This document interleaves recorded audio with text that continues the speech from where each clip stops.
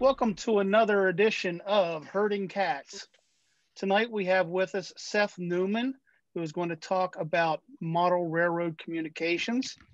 I found Seth uh, through the Cats group, but when I was perusing the internet looking for some stuff that I might need, I came across a website for model railroad control systems, which is Seth's company. Um, and I found that he had a presentation on this model railroad communications. Sounded great. Um, keep in mind, uh, he's going to refer to some of his own products, but I found the presentation and asked him to do this. So excuse the sales pitch if anybody's offended. Um, with that, I'm going to turn it over to Seth. Seth, if you want to go ahead and share, please do. Okay.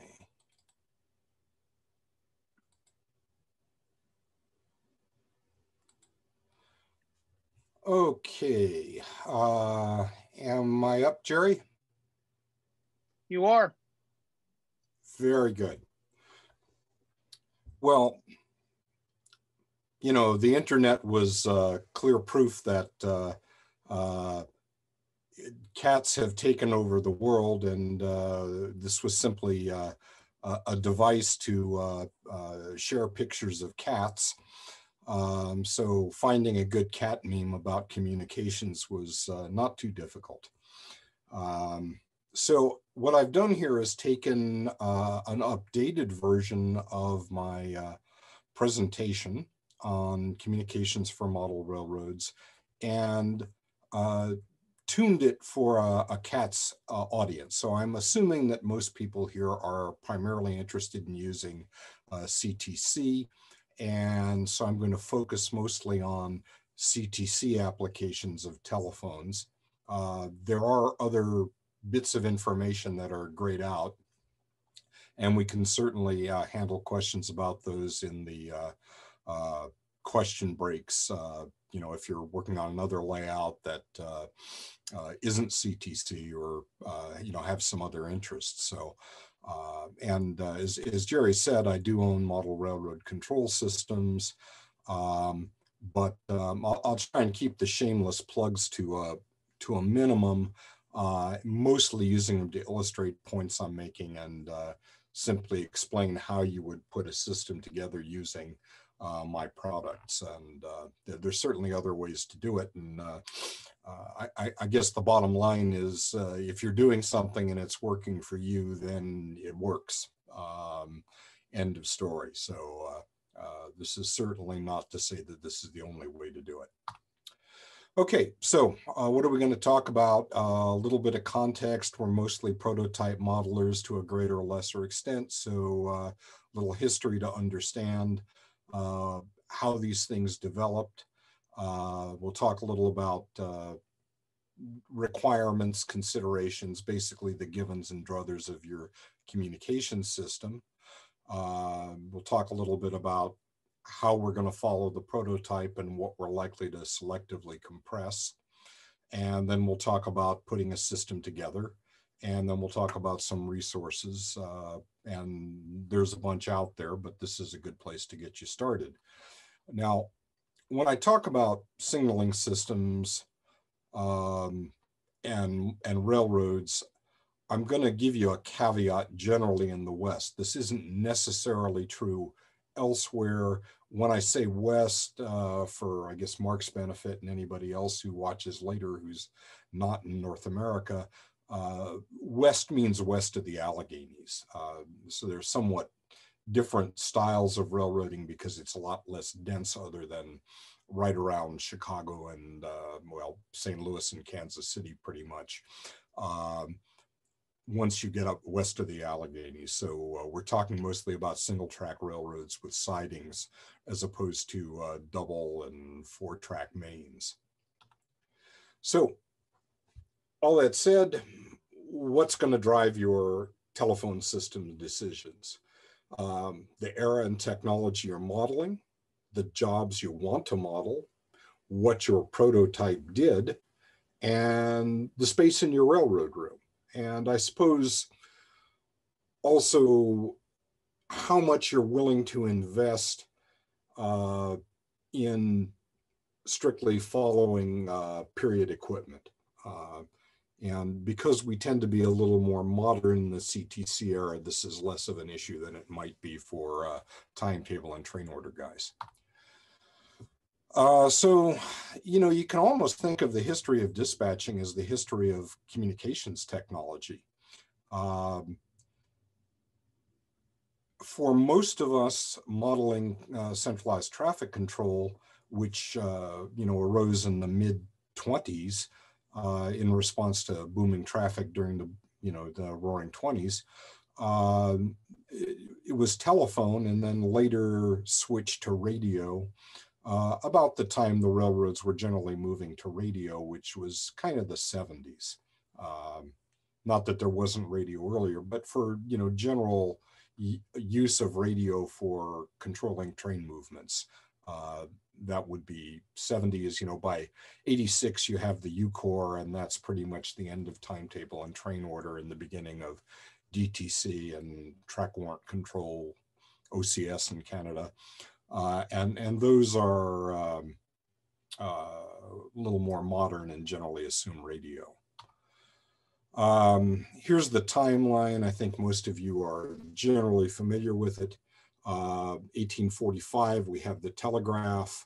The important event is in 1851, Charles Minot finds himself waiting at a station for a hard meet and since he's the superintendent, he climbs down from the locomotive and asks the uh, station agent to uh, uh, telegraph ahead and find out where the opposing train is.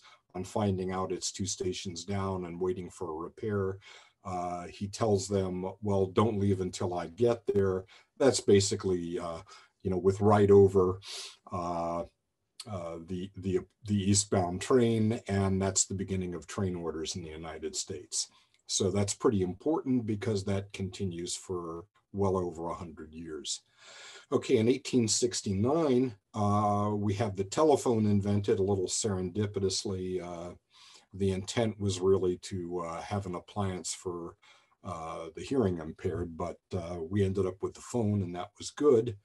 Um, by the 20s, the telephone is in widespread use for, tele for train dispatching and uh, the signaling publications of the era are, are full of glowing testimonials about how operations have been improved by implementing telephone.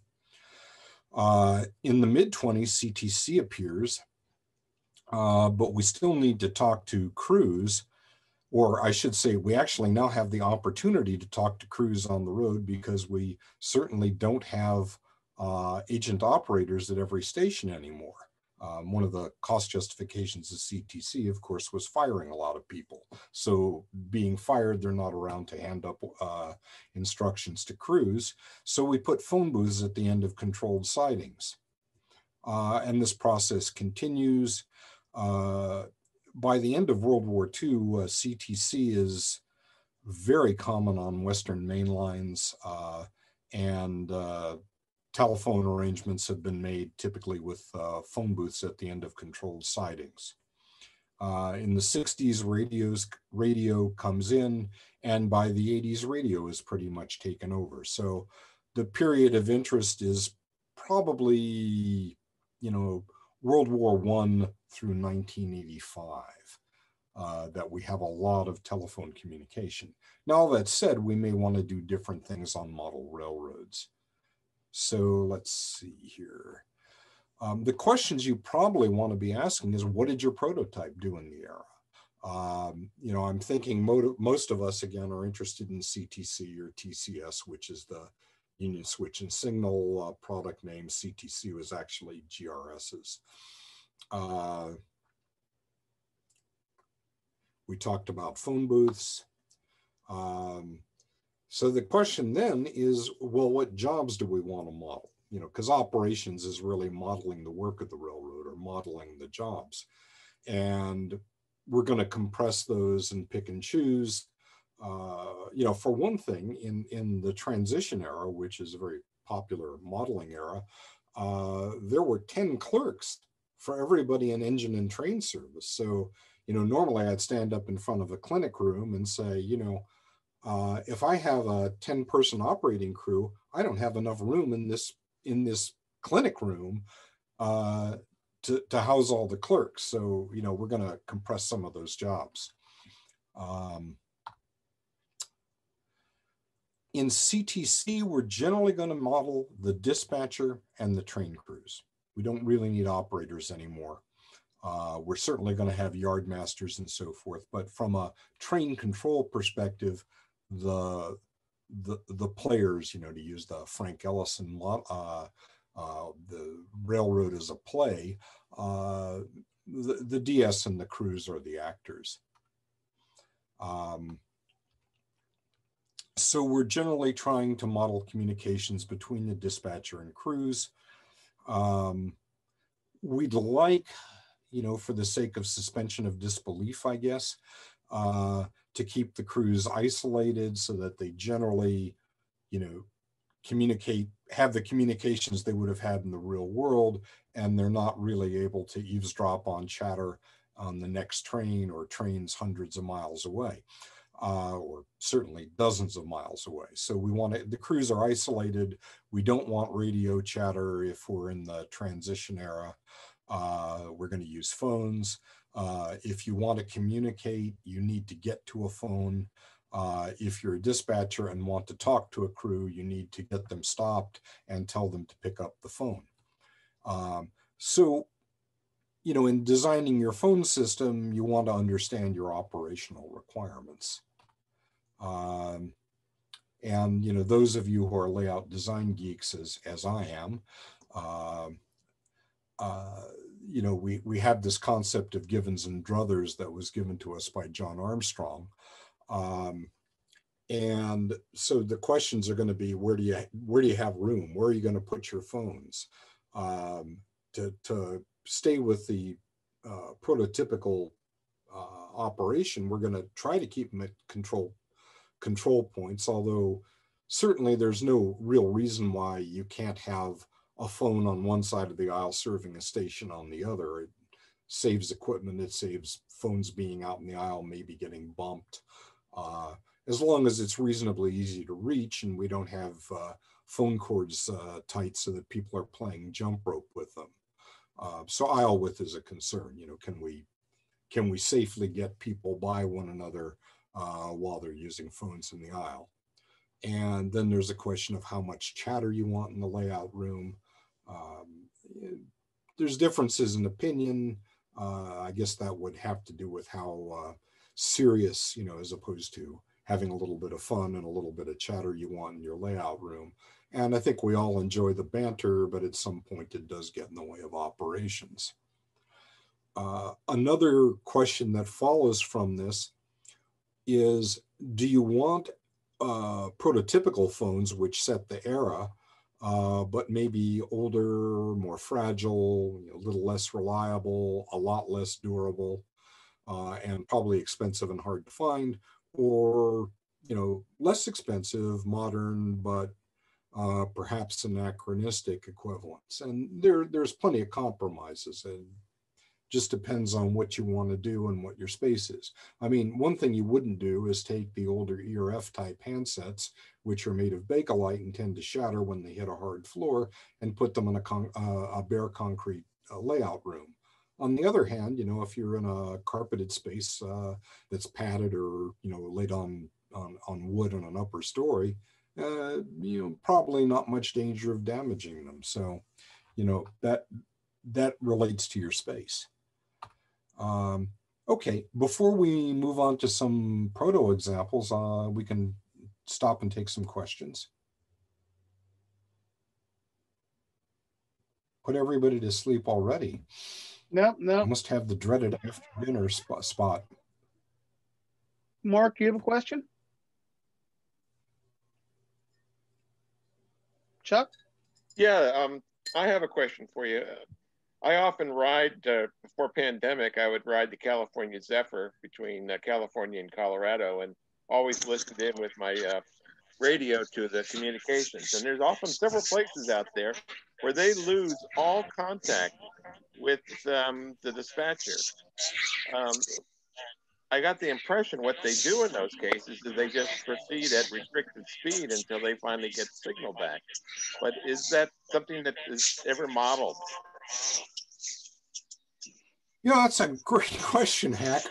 you know, I I'm not sure. I mean, I would think that you know if you've got signals, uh, you know, as long as you're seeing greens, everything's fine. Um, in fact, as long as you're seeing something less restrictive than stop, you're you just keep moving. Uh, in track warrant and DTC, you do get a piece of railroad, but uh, at some point you run out of railroad. So uh, hopefully the railroad has signal engineers who uh, figured out that when you get to the you know the the end of the DTC block or um, you know places that are operationally important and likely to be named in in track warrants that there's coverage. Otherwise, you've got a big problem, don't you? Well, yeah, and the one specific in incident came up in Ruby Canyon in western Colorado after a heavy rainstorm. And we went through in the morning and the rivers were really running high. And the engineer literally stopped at a bridge and had the conductor get out and walk the train across the bridge. And this was all done with no communication possible with the dispatcher. And I didn't know whether I should be prepared to bail out myself if the train was going to go in the drink. Well, I, you know, if if I were you, I think I would have gone back to the observation car and started dropping fusees. You're more more likely to get hit, you know, uh, get hit from behind than uh, um, than fall in the river. But neither of those sounds like much fun. Um, so, you know, it's a it's a good question. Uh, I have to look and see what UCOR says about it you know, in, in, in, certainly in the TT and TO days, there was uh, a great deal of discussion about what to do if there's a wire failure.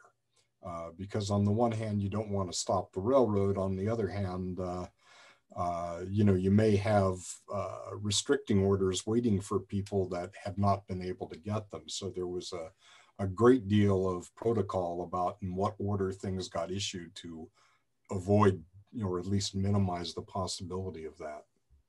Yeah.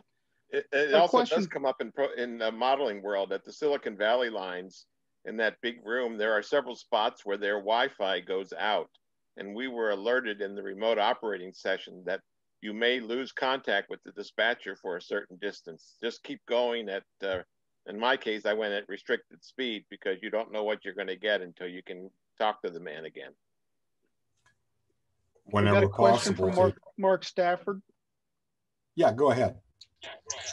Yeah, um, Seth, I was wondering um, over in Australia, the if you had a problem on the line, the conductor would climb off the train when it was stopped and hook up to the telephone lines, and he carried a portable handset and ring in. Um, do, is that the practice in the states as well? Yes. Yes, and in it fact, the, there, there were uh, particular rules about where you would put the telephone line. I believe they were the innermost. It was on one arm, so they were close together because the conductor would have a thing that looked like uh, two inverted J's, and one of them would be on one side of the line and the other would be on the other. And uh, you would get out there with something that looked a lot like an Army field phone. And uh, uh, get on the line that way. But it, you, you had to climb partway up the poles. Uh, there were, you know, you could do it with a ladder. Typically, uh, railroad line side poles didn't have steps. And conductors did have spurs, but you know the poles weren't in great shape and you got a lot of cutouts and if you've ever climbed poles and had a cutout you know you really don't want that you know a piece of creosoted splinter is is very unpleasant for a very long time. So I'm pretty sure people didn't do that, particularly in bad weather, unless they absolutely had to. Um, but yeah, that we, we had basically the same thing. By the way, I'm I, I am a collector of rule books, Mark, and if you uh, have any surplus ones or come across any good Australian ones, uh, you are hereby commissioned to uh, procure them at any reasonable price, and I will gladly reimburse you for that in shipping. Um, um, I, you know, it's just so interesting reading through the rule books and seeing what they did. I've got another one, Seth. Um, yeah. We also had, yeah, we had had um, a thing that we called staff and ticket, which was a staff when you entered a section, you would receive like effectively a key, and that key gave you permission to be in that section, and and they couldn't hand out two keys to the single section was part of the safe working rules. Does that exist in the states? Well, it doesn't now, but it did, um, and uh, there were a number of them. Um, I, two that come to mind were on Donner Pass, and one for the uh, original um, um tunnel at Stevens Pass, the the first one before it was rebuilt, uh, had a staff system. Um, uh, and there were a few others in other places, but uh, you know they worked. Uh, they were just expensive, and you know our railroads didn't like to spend money uh, if they could avoid it. But yeah, that that was done in the U.S. So, is anybody modeling that? Are you modeling anything like that, or have the ability to model it? Because it's a it's a software program to do it. I would think you could do it on your phone you know, the only person I know who models a staff system is our friend Adrian over in. Uh, oh yeah, yeah, uh, I know who you mean. Adrian Guz Guzman yeah. Guzman. Gunsberg, yeah, yeah. yeah. Gunsberg, in, in, Gunsberg, that's right. Um, but uh, there there may be a few others. Uh, I'm not uh, familiar with them. It's it's relatively unusual. Um, it would it would take somebody like that, you know, a uh, oh come on uh, don ball is the kind of guy who would do it but he doesn't because stockton and copperopolis didn't have them. Um, bruce. You have your hand up? Uh, unmute. I have to unmute. I i have seen staff systems work on uh, primarily on branch lines where when you enter the branch you take the staff and then you have that that branch line. It's like a one-way branch and, and no one else can go onto the branch because you got the staff.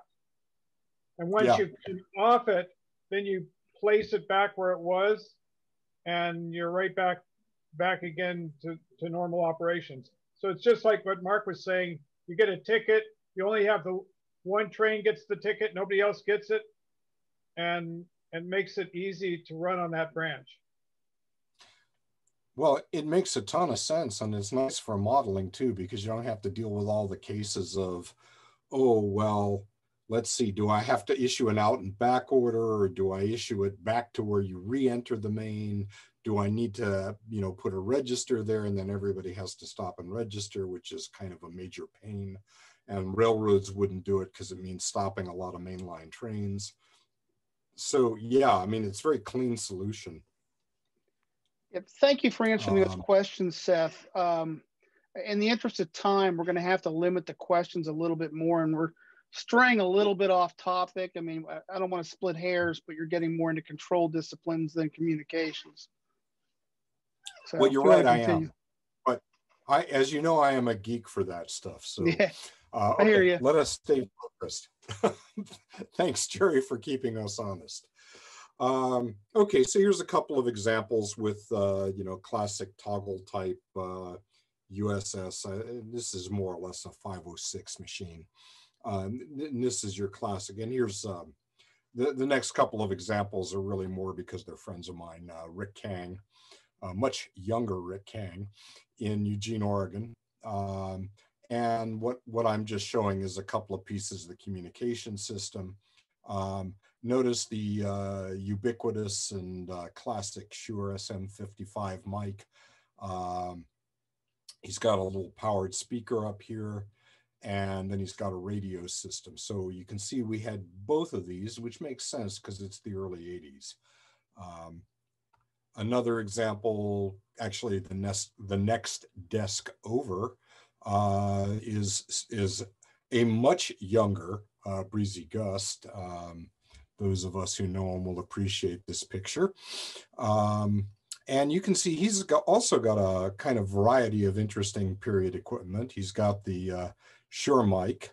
Uh, he's got his uh, radio system. There's a speaker in here somewhere. Uh, you notice we have a 2554, which is a touch-tone wall set, um, which is probably part of the railroad private branch exchange. Um, looks like he's settling in for a long night. And he's got a computer terminal with a wonderfully anachronistic full travel keyboard, or I should say, well, it wasn't anachronistic for him, but uh, there we go. Um, here's a, we're going back a few years. Uh, this is probably early 70s, given the 851 phone here. Uh, this is uh, outside in P line in PBX phone. This is uh, in Sacramento. But he's also got the 60A selector, which is uh, uh, essentially a party line signaling system that was designed for railroads. And uh, what's interesting is if you start looking at the documentation, it bears an amazing resemblance to the code line sender used by uh, US&S. And uh, these things date back to 1916. And I'm just presuming that because they coexisted in uh, railroad environments for years, both the railroad and signaling people were pretty familiar with each other's stuff. So, you know, moving forward, he's got a shotgun mic. This is highly directional. And the reason for it is his loudspeaker is pointing right down there. So this microphone is directional enough that the speaker can be blaring away and it won't feed back. And then you notice they're also using uh, they've basically gotten rid of telegraph at this point because you can see he's got a teletype over here. So this is the corner of what's probably a Model 32. And uh, he's probably getting lineups and things like that. Um, and the rest of the CTC board, I think you guys are generally familiar with. Okay, so how do communications work? Generally, you had employee call lights on the uh, phone booths uh, the phones were essentially local battery, magneto type phones, uh, where there was a battery inside the phone, uh, fairly low impedance primary circuit, and it would drive the phone line. And at, usually at fairly heroic voltages because you needed to get a lot of signal out there because these things were intended to operate across a subdivision or at least half a subdivision. So that was at least 60 miles of wire, usually uh, iron wire with copper, thick copper plating on it.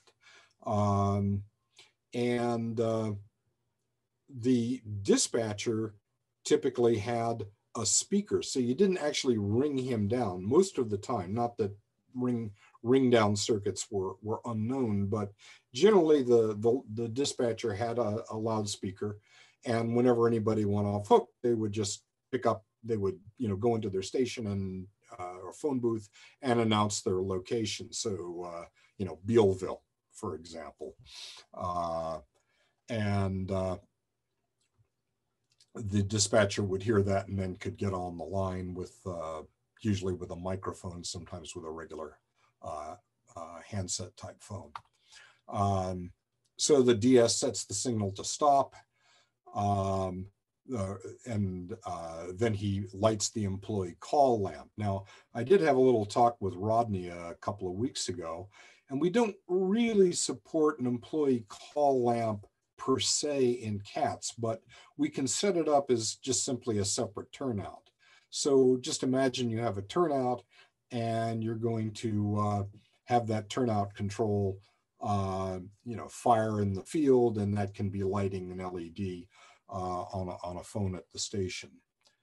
Um, and anyway, so the DS, of course, then codes it if you're using a CTC, you know, a 506 type machine. In CATS, this would happen more or less instantaneously. Then the lamp on the phone booth lights and stays lit. And then the crew picks up the phone, uh, you know, having stopped their train and seen the employee call light on. Um, crew announces themselves, dispatcher acknowledges, when he's done, this does not clear automatically in the real world. The dispatcher has to go turn the light off and code it again. Um, if a crew, you know, on their own motion wants to call or, uh, you know, if they've used the little hooky thing to get on the line because they've broken down, Um, they'll announce their location. Uh, the dispatcher will hear that, and then the dispatcher will talk to them, and you know, at the end of the conversation, everybody will go back.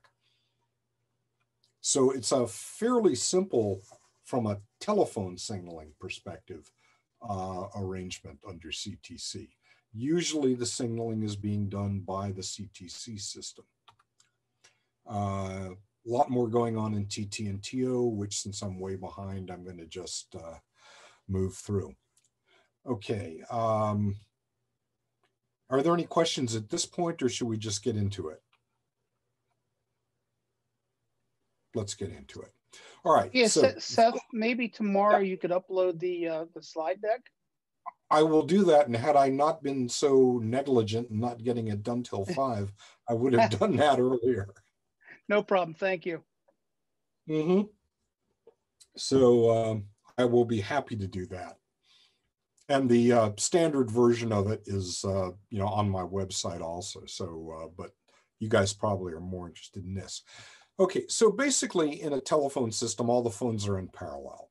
And what you've got is a common power supply, a common, we're, we're going to do this using common battery where the power is provided by the phone system rather than the local battery the way the prototype did it because it it's a lot simpler and easier and perfectly practical for the distances in any uh, reasonable model railroad. And in fact, one of my systems in uh, La Mesa, so I would say even in uh, maybe an unreasonable model railroad. Not not that they're unreasonable. It's just on the largest end of a model railroad.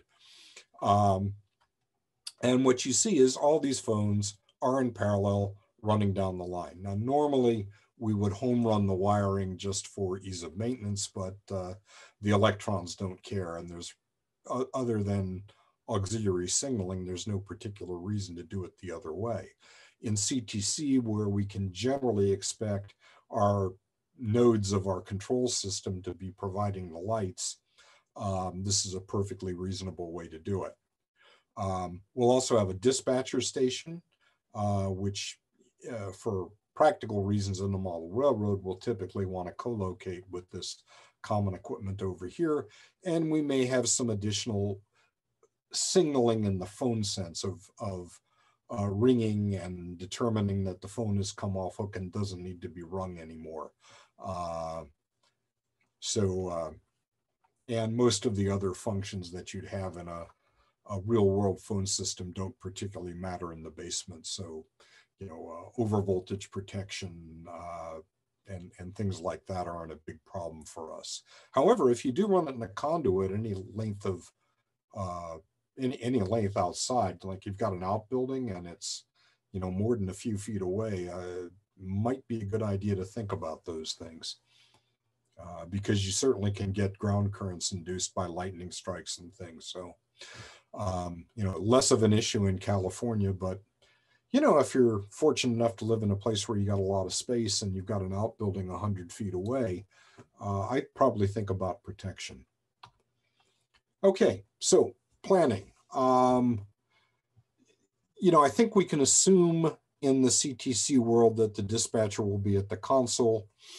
Um, but we do need to figure out where the phones are going to be on the layout.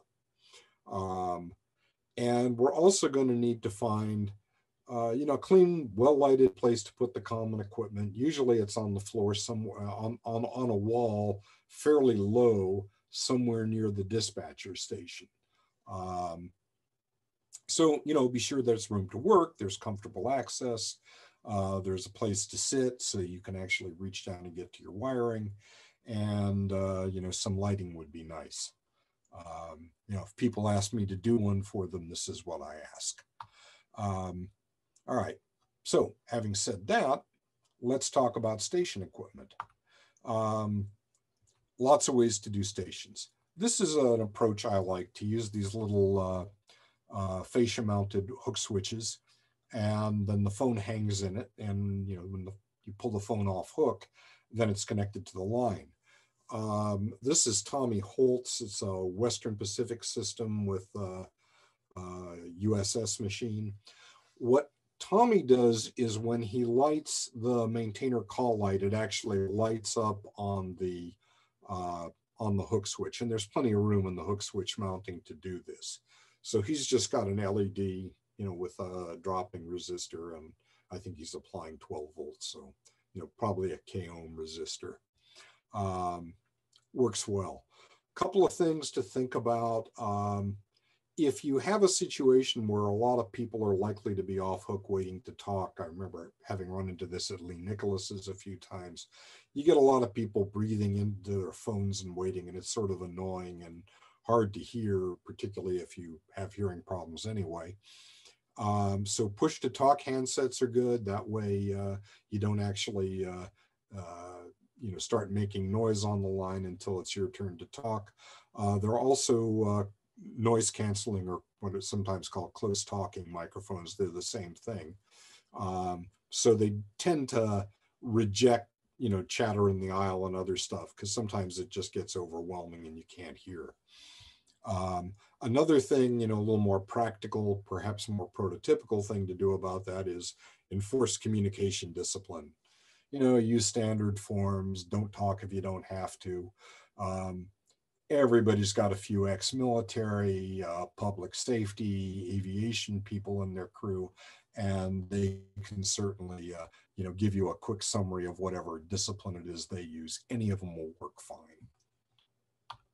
Um, lots of choices and stations. Um, this is Otis McGee's layout. These are period, uh, uh, what are called 211 space, space saver hook switches with F-type handsets. F handsets look really cool, but one problem is that the handset back has kind of a triangular or almost papyrus stalk configuration and you can't crook it under your neck. It will go flying off in space. And happily Otis is in a very nicely furnished second floor uh, layout room that's got good carpeting. So if they fly off into space, nothing bad happens. But uh, as I mentioned earlier, you don't really want to be doing this on a hard floor. Um, Jack Burgess has got basically the same arrangement that Tom Tommy Holt does, other than he didn't use maintainer call because he's got timetable and train order and he used his order boards. Uh, this is kind of my favorite scheme. Um, Dave Adams, another TT&TO guy, simply took one of these phones. I bet you grew up with this and had a wall phone like this in your kitchen. Um, took the cover off, took the dial out, and just shoved it through a box in the fascia. And that works fine. You can also do that with this style of phone. And that's fairly inexpensive because for the cost of a garage sale phone, which is, you know, 15, 20 bucks, even if you don't negotiate very hard, you've got all the parts you need, right? You got a speech network, you've got a handset, you got a hook switch. Um, so, you know, all those things work fine and um, let's see. Um, and of course, you can just use a, a wall set. Um, so this is the rotary version. This is the slightly newer, uh, by newer, probably late 60s, early 70s, uh, touchtone version. This phone is a repro of the kind of 1947 to sorry about that. Um, here, we're going to pick up. Okay. Uh, um, 354 set, which uh, is kind of transitional. There really weren't very many of these made. The phone it was based on as a desk set came out in the late 30s, and by the time they would have started making wall sets, there were wartime production restrictions and frankly these worked fine so nobody was going to devote scarce materials to this. Um, but you can buy repros of these for like 50 or 60 bucks and it gives you a nice transition look if that's what you want. This is actually a touchtone dial if you press it but if you don't look too closely it looks pretty good. Uh, this is actually on Dave Houston Southern Pacific. Um, let's see so here's a little table summarizes all of that. Um, basically, you know, kind of in the middle of the price range or maybe a little high is the a hook switch on the fascia type approach. The vintage ones, you can go absolutely crazy, but you can match exactly what your railroad had in the day. Um, the uh, uh, old 554, 2554 set. Uh, by the way, if there's a two at the front, it's just the touch tone version of the old rotary version. If it has a one, it's the kind of rare 10 button touch tone pads. Those are collectors like them. There's no particular value to us one way or another. We're not using the dials. So I would just get, you know, whatever you can find at a garage sale or a junk store. Um, I keep a few around, but you know, frankly, if you can get them locally, you're much better off because, you know, by the time you get done with a flat rate box, it's 15 bucks to ship one, and it's only worth 20. You know, so that doesn't make much sense. Um, you can get repros uh, again if you're looking for the look, don't want to spend the money, and want something a little more uh, robust. And you know, if you're just trying to have basic communications, you can find still find very basic uh, uh, rotary corded phones, uh, you know, at Wally World and places like that. So, you know, those work fine. Um, okay, so a little more detail on the Space Saver. Uh, this thing you've probably seen. It's about five inches high and two inches on a side there's no room for the guts inside, so you have to wire them externally, but it's not a problem. They, they look nice and they work really well. Um, here's the original 300 desk set I mentioned. Oh, and here we go. We have that same repro again. Um, uh, you know, if you look around, you can usually find the prototype of this, but uh, it, it, it, it covers a fairly narrow period. Um, so, you know, I'm not sure how many were really in railroad service. Um, uh, you know, worst comes to worst, um, is always there. Well, they're trying to sell the business, but they are there for now. And, uh, you know, they're very nice. When you get stuff from them, check it out because they don't have time to test everything and it is vintage stuff. But they will make good if you get back to them in a reasonable time.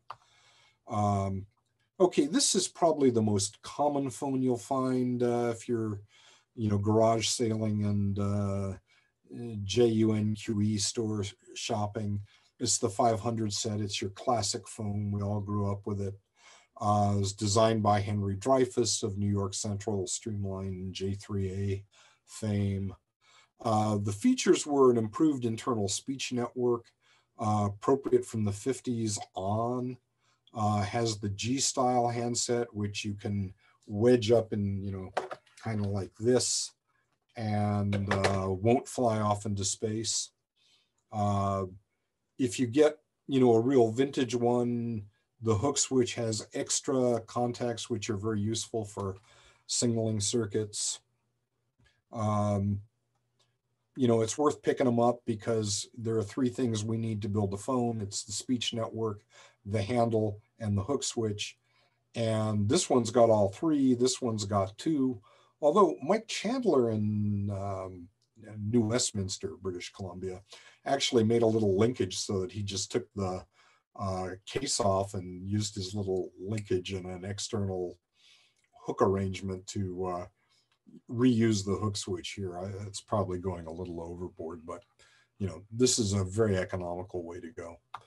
Um, as I say, this is my favorite. If people say, well, what should I use? And you don't have stuff around, this is probably it. Um, I sell this thing as a kit on my website, um, usually fascia mounted. Um, you can do it with or without uh, push to talk handsets. Um, yeah, I mentioned speech networks. It's this funny little board that goes inside the uh, uh, phone. Sometimes it's a, a, little can with the terminals on top.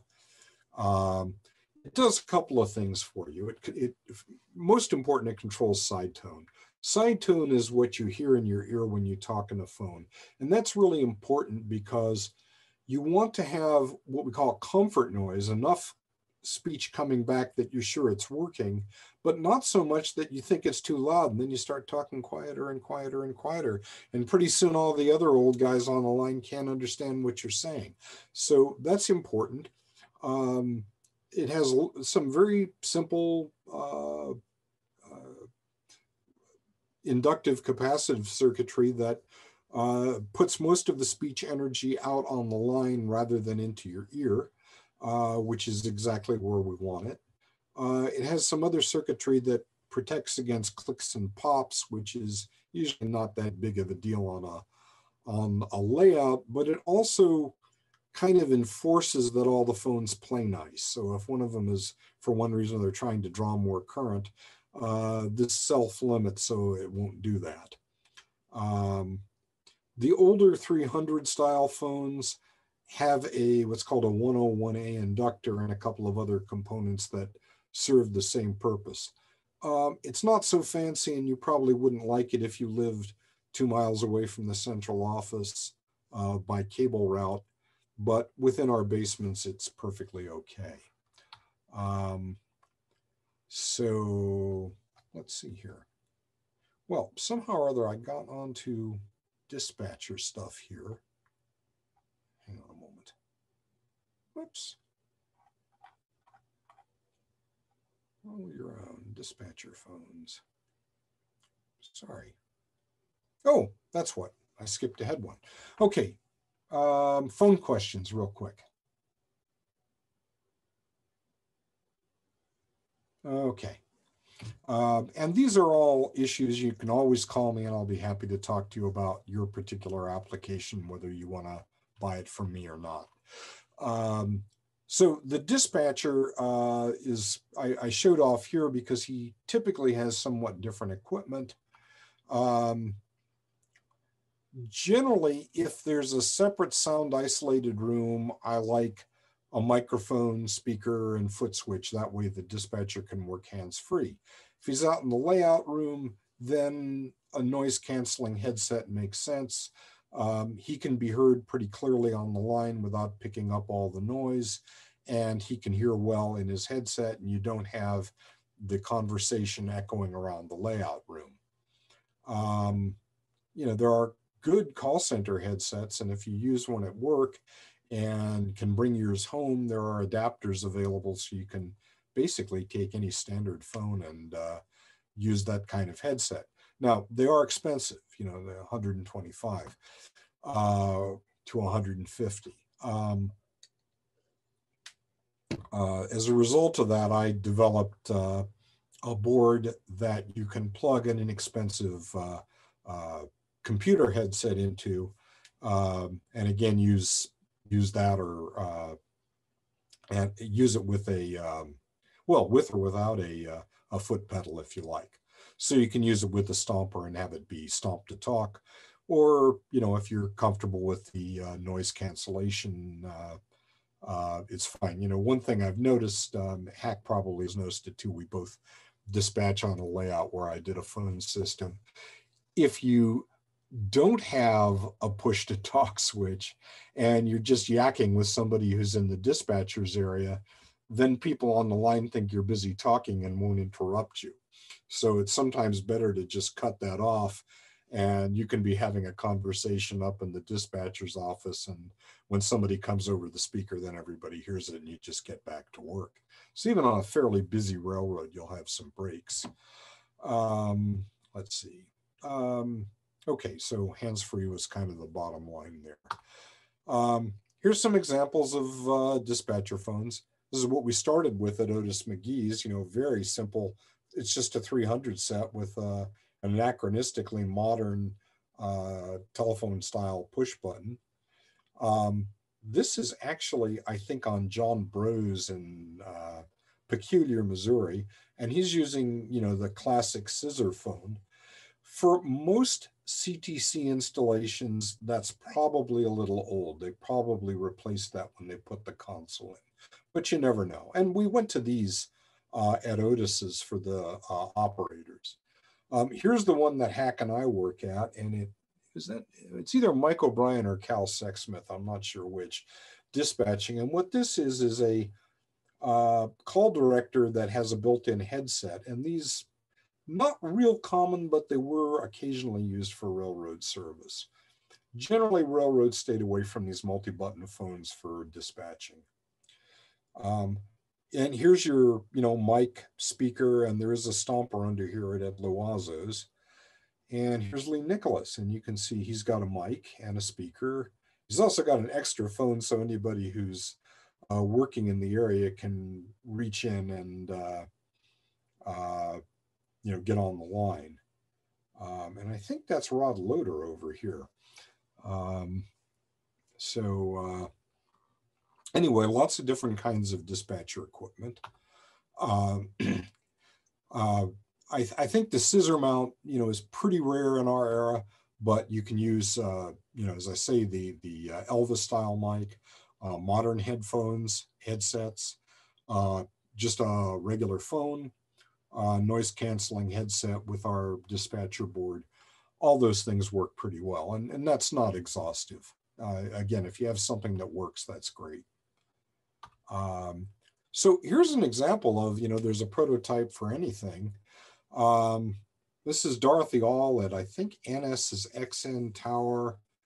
And I wouldn't swear where that is. It's, it's somewhere in NS land, fairly south. But my guess is this is the early 80s because we've got a 3278 maybe uh, in the corner uh, some dis discussion of whether it's a 3274 or 37, 3278. The, uh, the IBMers among us, Mark might know. Um, you can see this giant Okidata printer. You got a 554 wall set. You got Motorola radios. You got another uh, loudspeaker somewhat similar to what uh, we showed with Rick Kang. Then we've got the 107 type speaker like uh, Ed Loiseau had. Uh, she's got a scissor mount wall phone, which could date back to 15. You know, we know it's early 80s, right? Because there's a tray full of butts here, you know. And uh, you know, there's that manual thing with the funny keyboard that doesn't, uh, that has a lot of travel and you, you can't backspace easily. Um, so, you know, one of the things that I love to do is the client brings me a picture. Oh, and, and here's a, yeah, here's the 211 up here, a picture of the uh, dispatcher's office and we try and match it because you can find some really bizarre combinations of things. Okay, um, here's my mic speaker arrangement. It uses this active telephone board or dispatcher operator board. And you can see it has uh, sockets for the audio in, audio out, uh, terminals for the stomper and uh, just powered off a 24 volt wall wart. And it plugs into the phone line with a modular jack or with a screw terminal, your choice. You can have two so you can daisy chain them. Um, uh, quick bill of materials, you know, somewhere between 135 and 175 say 200 is a budgetary limit unless you start going crazy with vintage equipment. Um, and this is basically the tear sheet for the product. You can read that on my website. Um, you'll need a foot switch. So lots of things you can do. Um, these are fairly inexpensive. I think I sell them for 20. It might be 25 these days. You might also have a perfectly good one if you've got a resistance soldering set. So just take that and have it power an AC relay and use the contact. Um, this is a vintage one. If you can find them, uh, they're probably $50. This one's in fairly rough shape. Um, and then my friend Dave Adams just uh, took a little hinge, a piece of wood, a spring, and a micro switch. So that works fine too. Um, powered speakers. Uh, I mean, here's some vintage ones. Um, this is the uh, 100F vacuum tube, you know, two dual triodes. Um, you know, that takes us back. Uh, do you speak 12AU7? Uh, this does. Um, and uh, this is a 60s one. I, I just like this, the style of this. It looks so industrial Western Electric, and then Westcom was a, a manufacturer who did copies for non-Bell system people. By the way, railroads could buy from Western Electric, so they weren't under that general prohibition that Western Electric, under the antitrust settlement of 56, could only sell to Bell operating companies. They were allowed to sell to the governments and to right of way companies. So, railroads, pipeline companies, power line companies could buy Western Electric stuff. Um, but, you know, there's really no reason you can't just use a pair of powered computer speakers. So, you know, that works fine too. Okay, when we talk about common equipment, it's stuff that's not stations. It's all the stuff back in the backboard, usually a you know closet in the corner of the office. You know, more often than not, stuffed with cleaning supplies that will eventually spill over something and cause a trouble call. Uh, ask me how I know. Um, so we need at a minimum a power supply and what we call a battery feed supply. Um, and then you'll need some wiring and some way to keep everything together. Uh, so what's battery feed? It essentially powers the phone. And what it does is it gives the phones whose microphones run on DC uh, a fairly low resistance source of DC with very high AC impedance so that when you're talking across the battery, it doesn't short out. Because if you ever tried to operate a phone across a, um, a battery, you won't hear anything. And the reason is that the battery is a perfect voltage source, or as close as you're going to get in the real world, and will short out all the AC. So what we want to do is um, essentially have a current source, which is very high impedance, but wants to push lots of current through.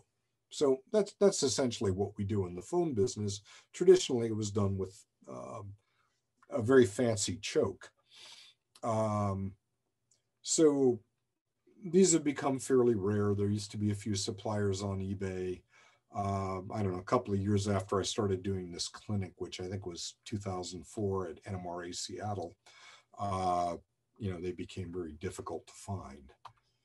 Okay, so anyway, result of that, I got back together with a old partner of mine from a phone related business, and we essentially took a 50 year old design from Altec Lansing and uh, took out everything you didn't need for a railroad phone system and uh, updated the parts list a little bit, and that's what we've got. But uh, I call it electronic battery feed 31A, and that's because it kind of emulates a 31A battery feed coil. Uh, these are old Western Electric designations. Um, you know, occasionally they show up on eBay, but you know, takes a while, and we've got a few other features. So uh, certainly, if you come up with one of the original ones, that's cool, and I'm happy to help you with it. Um, if not, you know, the EBF was really designed to support that uh, dispatcher's office, uh, uh or I should say, the the chapter in the uh, operations compendium, because uh, I didn't want to tell people to go do something and buy a part that's on unobtainium. Um, what other things can you do? Um, well, you can find a, a, real battery feed relay. Um, if you can find a balanced audio choke, that's essentially the same thing. Um, people have occasionally faked it with two chokes and it sort of works, but um, the noise rejection from stuff like DCC and nearby fluorescent ballasts is poor. Um, there are old phone company style intercoms of varying degrees of cleverness and uh, resistance to noise. Um, the one thing I'd stay away from is a small PBX because, you know, by the time you get dial tone, go off hook, dial the party, it doesn't sound like a lot, but in model railroad operating time, it's it, it's it's a long time and it's very awkward to bring more than one person in on the call. So anyway, um, battery feed commercial you've heard. Um, you know, here's a basic phone system budget. Um, you know, 465 is a little aggressive, but you know, most if my standard system, you know, I looked in a year or two ago and uh, they're typically about six stations, and typically we can bring them in between five and six hundred dollars if you're not trying to do a lot of vintage stuff, and a lot less if you have you know a stash of phones around. So, you know, if you're thinking about doing it, you know, and you're out garage sailing or um, you know, recreational shopping with your wife when that's possible to do again. Just keep your eye out for the old phones, and that uh, that'll save you a lot of money. Um, um, here's a fully operational system. This is actually the demo um, I used at uh, oh NMRA the last time we had an NMRA. I guess that was uh, was it Kansas City? Um, oh, Salt Lake. Um, and it's got one of the dispatcher boards and a battery feed board and a little uh, what I call a code buzzer, which is just a buzzer system that taps out each station's name in uh, in Morse, in railroad Morse. And you could do that, but generally in a CTC system, there would be no reason to, to do it. But it, one thing it does is it gives each station a distinct ring. And if you're going to just make them arbitrarily different, I mean, it's cute and railroady, but it's, you know, you don't need to do that. Um, so this has pretty much got everything. You know, he's got his uh, stomper, he's got his power, got a little push button. Uh, the phones all are in parallel with uh, this jack, and he would just uh, plug his uh, uh, headset in here. And let's see, this is a brand new picture circa this afternoon. And we've got a slightly newer version that allows you to daisy chain from board to board and supplies power so that all these guys can share a single 24 volts. So it just makes installation a little easier. This board uh, has tie points. It can have anywhere between two and 12 uh, stations driven off it, and it gives you a place to tie down uh, the tip side of the line, the ring side of the line. And tip and ring are the two sides of the phone line. I, I'm assuming everybody knew that, but it goes back to old switchboard jacks that had a little tip and then an insulator and then a ring and then an insulator and a sleeve. So tip and ring were the top part, part of it. And uh, also a pair of for uh, typically 12 volts and ground for running buzzers and auxiliary stuff and uh, a place to install a little bucking converter if you need power. So basically you do it all with a 124 volt circuit. It powers all of your boards and derive some auxiliary power for the phones. Uh, let's see. So, you know, ringing and buzzing, as I say, I'm generally assuming CTC guys will be driving that off their uh, layout control bus, whatever it is. Um, um, let's see. Yeah. And we were talking about maintainer call lights earlier. And again, this is the code buzzer I talked about, and it just uses a little Arduino here. So this is a fairly cheap board. It's like 35, $40, something like that. And I'll happily program it up for you with whatever stations you want. And let's see, um, other handy widgets. Um, again, this is more for arrangements where you're going to be using um, buzzers or, or train order boards, but uh, this latch arrangement is just a simple relay circuit so that when a station is called, it lights up and stays lit and then uh, is released under control of the hook switch. So if people are forgetting to turn off the maintainer call lights, you could wire one of these up and uh, when the crew actually gets there and picks up the phone, then it turns the light off and doesn't annoy people. Uh, Sometimes you'll have applications where you'd like to know when the phone is on and off hook, uh, you know, and have it light up uh, a lamp field or uh, operate, you know, the one of these latches to clear it. Uh, but the phone is sealed and doesn't have any auxiliary contacts. That's one of the reasons I like the old Western Electric phones.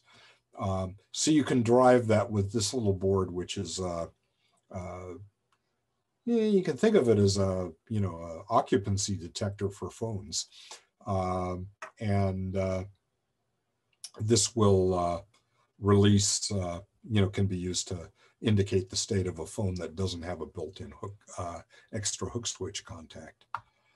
Um, let's see, getting to the end here, kind of running over my time anyway. Wiring hints, uh, I generally use Cat5. It's inexpensive. It has a couple extra pairs for auxiliary functions. I would generally use the blue pair for talk, the orange pair for a hook switch indication, in other words, off hook, uh, if you've got a phone that supplies it. Green for a light that you're sending out that would light on the phone. Brown for ringing and buzzing. I would suggest keeping the wiring away from DCC, uh, high, you know, high voltage power, AC, uh, ballast, anything that will induce noise. Um, let's see. Big complaints. In fact, I was just working with a customer today who uh, uh, was uh, tired of his home built system, which had noise and volume problems. Um, use high impedance battery feed, in his case, using uh, uh a battery feed circuit instead of uh, a big resistor. Basically, took the system from unusable to pretty good. Let's see if it works like this. Um, and I've done this for several people. Um, busy indicator. Um, so you can take a, and put a light on the phone uh, to indicate that the circuit is in use. That way, particularly if you're not using uh, push to talk handsets, people are warned that the conversation is in progress and maybe not to pick up and just start talking without listening first. Um, push to talk or noise canceling headsets are great. I see Dave Parks joined us. On David's uh, layout, I think we have push to talk handsets that also are noise canceling. But David has a very large crew and wide aisles, so a lot of people tend to congregate sometimes. Um, the one thing you might be tempted to do that I would kind of recommend you not unless there's no alternative is amplified handsets. So the thought is, oh, well, it's really noisy. If I amplify the handset, um, I'll be able to hear better. But the problem is it amplifies everything on the line. And the noise problem is typically that all the phones that are off hook waiting to talk are picking up noise in the aisle. So this is great if you have a truly hearing impaired person. And the nice thing is that this vintage equipment works well with uh, magnetic pickups and most high quality uh, hearing aids um, but it's not a very good general purpose use. Uh, let's see. Um, oh, Cat 5 again. It's cheap. Um, in fact, if you uh, find somebody who's remodeling their office, they may very well have ripped all the old stuff out. Here's a hint. Almost always it's perfectly okay the next time. Um, the guy ripping it out was probably going to take it over to a scrap dealer and use the proceeds to fund the beer and pizza for the cutover party. So if you want some, I would say, you know, pull out a 20 and let him buy the beer and pizza and you keep the wire and save him the trip over to the scrap dealer. Um, okay, so it's, uh, if not, use some kind of twisted pair because it's really going to help reject noise. And we've got DCC, which is a giant, you know, antenna radiating 16 kilohertz, which is close enough to audio uh, that it can be annoying. Um, for connecting blocks, you can use the telephone connector board I showed you, terminal strips, telephone style 66 blocks, Euro connectors. Um, I, I don't like Euro connectors because they don't work that well for 24 gauge wire, but you know, your mileage may vary. Um, the electrons don't care much as long as you make a solid connection. Just do something that's documentable and uh, hence maintainable. And I've got tons of wiring diagrams that are just there for the taking. Um, here's a couple of things that are bad ideas. Uh, some of you, again, you know I'm into layout design. We have a saying in the LDSIG, make only new mistakes. Here's some old mistakes you cannot make. Um, wireless multi-handset systems, uh, they're inexpensive. And if it's your first operating system and you have no phone system and it's nine o'clock and you're passing Costco or Wally World on the way home, uh, it's okay, but um, uh, they don't work very well and you'll get tired of it real fast. Uh, way too much effort to make a call, tiny little buttons, no two alike. Um, internal volume, not great, not a party line. Um, generally not great. Uh, trying to get away without choked or balanced battery feed. Um, I just gave you a couple of war stories. Don't do it. Low volume, poor side tone rejection. In other words, everybody hears everything th themselves in their ears, so they don't talk loud enough. Very poor party line performance. Um, series wiring, yeah, sort of get away with it for two phones, but not a good idea. Again, poor side tone rejection and not reliable at all. Any failure in the wiring will kill your whole system. Um, and here's the references and all the good stuff.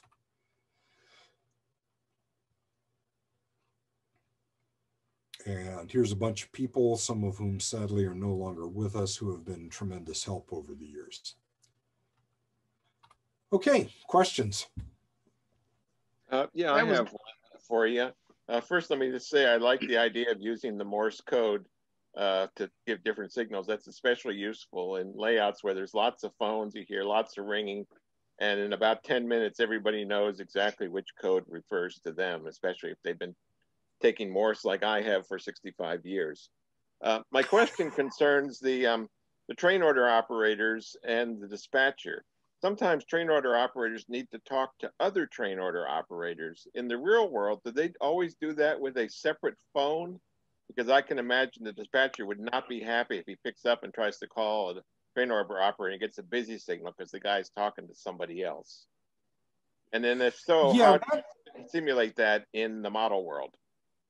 Well, you know, the, the railroad would have done is uh, used a second circuit in one of a couple of ways um, in in really busy areas like tower corridors, there were there were multiple lines, and we we sort of simulated it in a not particularly prototypical method on David Park's layout, um, but it works pretty well. So basically, each tower has a line, and if you want to talk to that tower, you pick it up.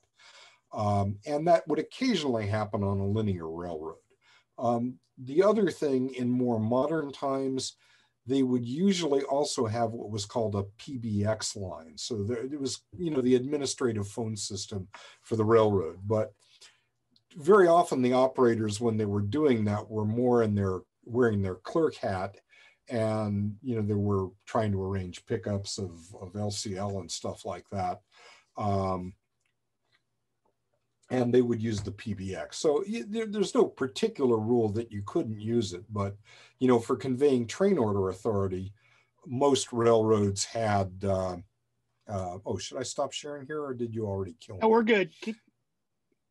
Um, uh,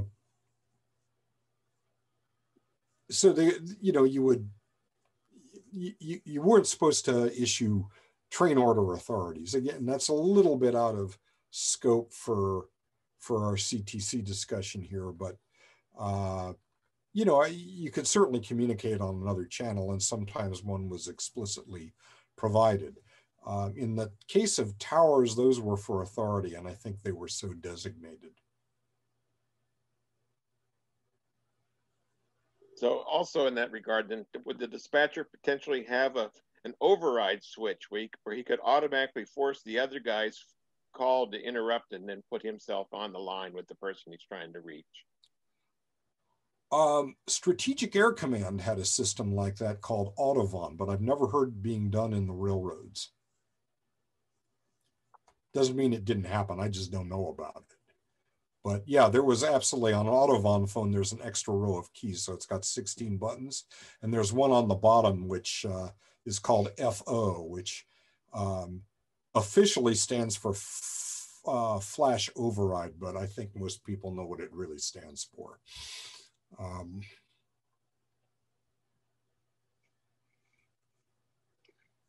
that was great talk, Seth. I'm, i know in my case, you definitely have the wheels turning in my head. I'm probably not going to sleep tonight, but um, the, the, the, big decision for me is going to be what do I do next, the phone system or the physical signals?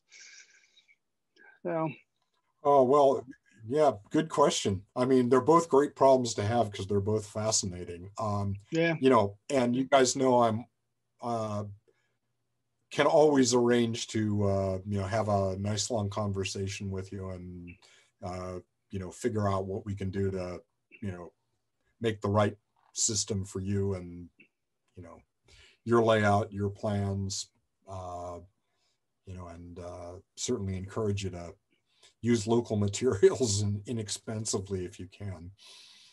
Yeah, I, I was fortunate to pick up a uh, candlestick phone a couple years ago, very cheap. In fact, I also got the com box that was in a tower, and uh, it, it, was from a Pennsy tower, but it wasn't advertised as such. I just went out to pick up a Western Electric one just to have as a decoration, and I got looking at the photos and recognized the numbers, and I, I, nobody else was bidding on it. It wasn't advertised PRR got it out of a, a very commonly known tower.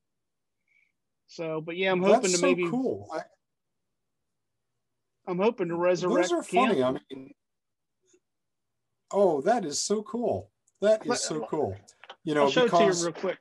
Those things, those things were, you know, I never real common, but they weren't fancy. And then they just started getting scarcer and scarcer, and the prices got bid up and bid up and bid up. Oh, look at you. That's Hold great. On. I'll turn off the background. So oh, nice with the lever switches and everything. How cool. That's really nice. Yeah, so uh, I'm, I'm looking at the screen and moving things the wrong direction. So I'm, I'm looking at these labels across the top here, and uh, one said West Block, one said East Block, and handwritten in them, the West Block was gray, East Block was Hunt. So I intuitively thought, okay, that's maybe the next station, the next tower each direction. And so that that brought me down to about three or four possible towers. Third one is for the train dispatcher. And then you got one for the west bridge, one for the east bridge. So those are the ends of the interlocking. And then there was a local number. And uh, the interesting thing about the local number is uh, this was, uh, what's it say, six. I can't read it anymore. anyway, the number didn't have enough digits for today's numbers. So I did a Google search and it confirmed it belonged to the town, which was where one of the three tower, missing towers was. And it, this came out of Spruce Creek. And uh, so you, you, you flip these up and down, and I assume you can make it a party line by having more than one connected. And there's jacks down across the bottom. And there's some exactly ring stuff right. out here. There's ring stuff out here. I don't know exactly how all that works, but it's kind of cool to have. Oh, absolutely. Yeah, you could do a lot of interesting things with those. The, you know, the the the row of lever keys is more or less the same as a multi-button phone, you know, of the 60s, 70s, and 80s, you know, where you you had a series of them and you know you'd punch one down and the others would pop up. But the beauty of that style is you could have multiple ones at the same time.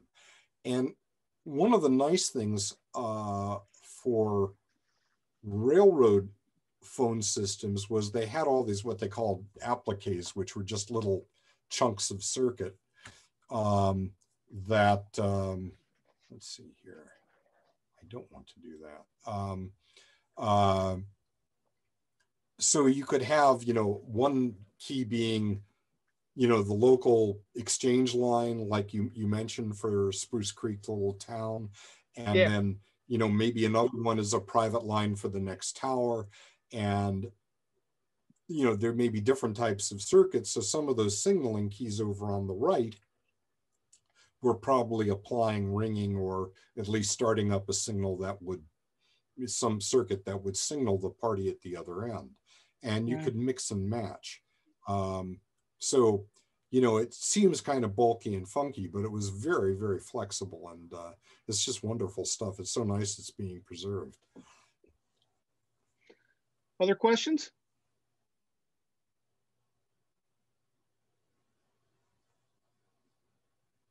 All right, looks like that's a wrap. Seth, that was fantastic. Um, I appreciate you uh, doing this for us. Thank you and good night.